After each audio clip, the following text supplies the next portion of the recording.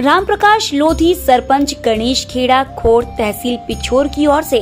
पिछहत्तरवे स्वतंत्रता दिवस की जिलेवासी और देशवासियों को